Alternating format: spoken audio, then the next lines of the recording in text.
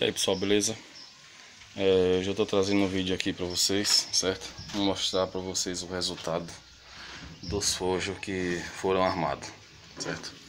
É, eu armei três fojos, na verdade, mas eu não sei se devido o tempo que andou dando uma chuva, nasceu umas ramas aí na, na caatinga, os preá estão sumidos.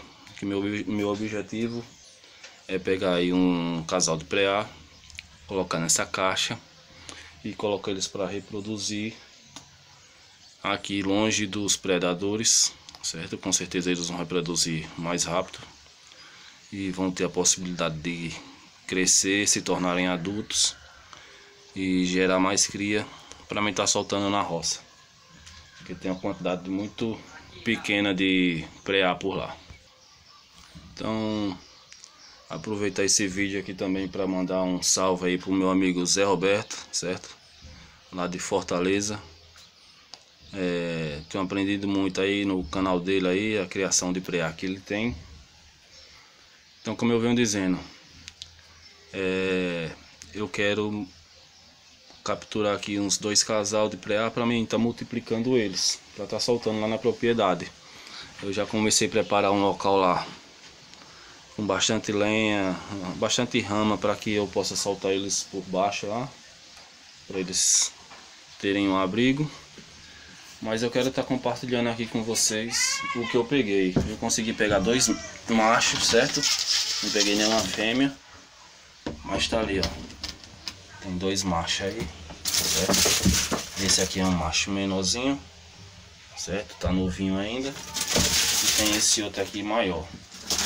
Então esses canos aqui eu coloquei para servir de abrigo também contra os predadores, certo?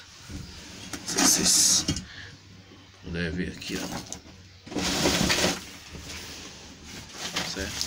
Então tá aqui, aqui eles conseguem se abrigar caso apareça um gato por aqui, porque a caixa está descoberta, certo? Como a caixa está descoberta, Aí pode ser que apareça um gato. E ainda contra os gatos ainda eu coloquei aqui essas duas feras aí que vocês estão vendo. Cupcake e shake, certo?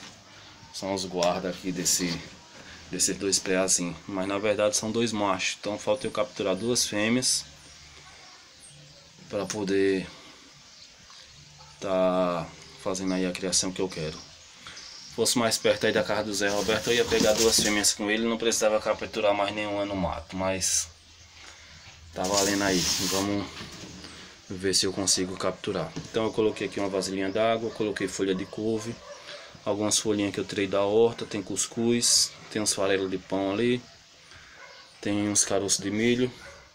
Então é a alimentação que eu tô dando a eles, certo? Botei um pouco de areia no fundo da caixa, botei umas folhagens secas também.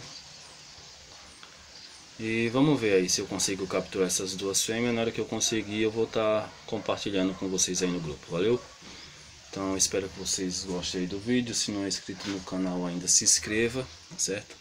Deixe seu like, seu comentário. E muito obrigado a todos vocês que acompanham o canal. Forte abraço a todos. Valeu. Fui.